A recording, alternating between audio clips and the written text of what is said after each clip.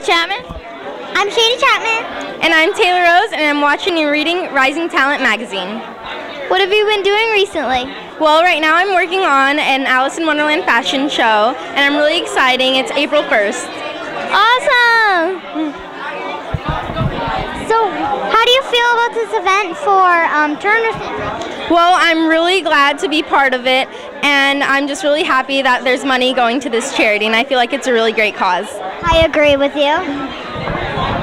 Thank you for your interview and have a great time at the party. Thank you. Bye. Bye.